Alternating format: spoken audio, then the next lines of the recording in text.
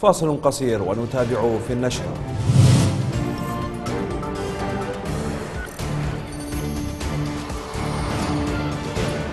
مقتل عدد من إرهابيي داعش داخل نفق باشتباك شمالي صلاح الدين.